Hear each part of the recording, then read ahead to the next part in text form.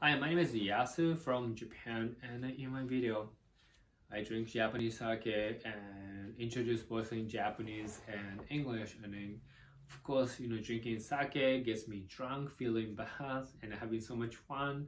And I do hitorigoto which means talking to myself. And today I'm drinking very special and my favorite Shinshukirei from Nagano prefectures. And then I want to talk about the performance result of me investing into the S&P 500 mutual funds, uh, index funds in the US from Japan.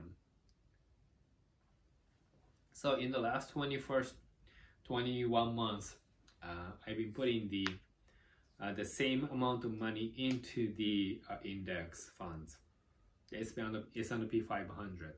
By the way, it's getting so popular in Japan, investing into the SP 500 index and then making money and everything. And then uh, I do that as well for the sake of the um, topic that I can talk about on the social media. And now I do every month that oh this is my return and everything while I'm you know drinking sake on YouTube as well. So this is the 21st month of the result. And let's see. So, so far the valuations, uh, 678,976 Japanese yen. The reason why, you know, this is the amount is because I put the same amount of money that I put every month into Tsumitate NISA. I also make the video as well. I don't want to use my time in this video to explain what the Tsumitate NISA is. So if you're interested, um, please um, take a look at my another video. So like I, I've been comparing which, you know, uh, mutual fund is actually performing better, either VT or VTI and from the Japanese perspective and I've been doing that in the, over the last 21 months. But so for the S&P 500 the valuation of it is so far 678,976 Japanese yen. The ROI is 8.2% plus. Amazing result maybe you know the super weak Japanese yen contributed to this one because uh, with this one I need to use my Japanese yen to put the money into and invest into S&P 500 I've been doing that like I said in the last 21 months. That means a year ago two years ago the Japanese yen was much stronger but now Japanese yen is much weaker and I can only see the performance results in the Japanese yen. So even though uh, S&P 500 has been you know down compared to the beginning of this year, but well, Japanese yen becoming weaker and weaker. So the result in JPY would be much much stronger, which is crazy. But you know, I'm here in Japan investing into the S&P 500 so yeah at least this is what I, what I would I get if I withdraw all the money and everything.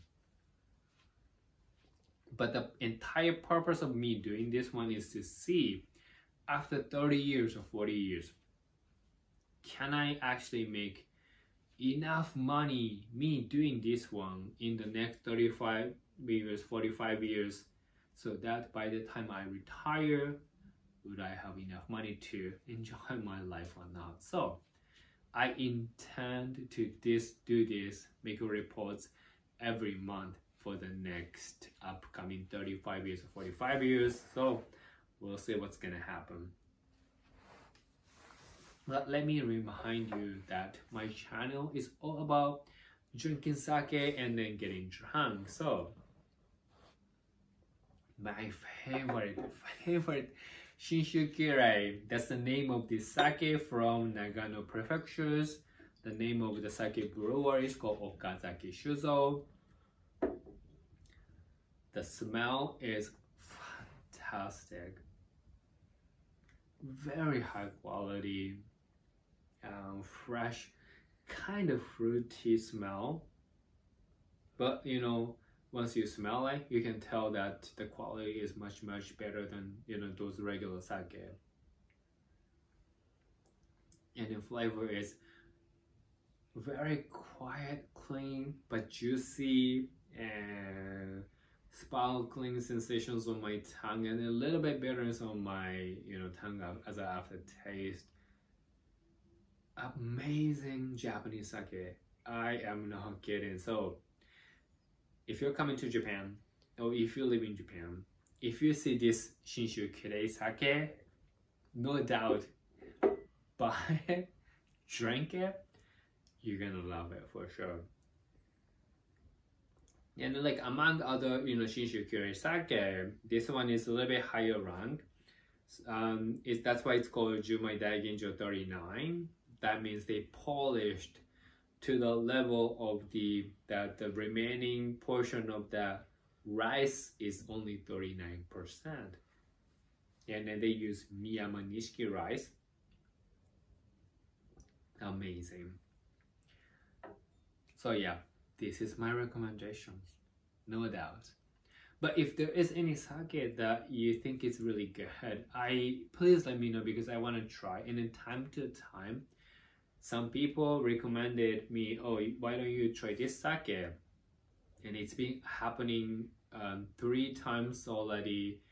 I really, really, you know, I'm thankful for those people because, you know, it got me try some new sake and I really loved it. So if there's any sake that you recommend, please let me know. Cause like I want to try something new.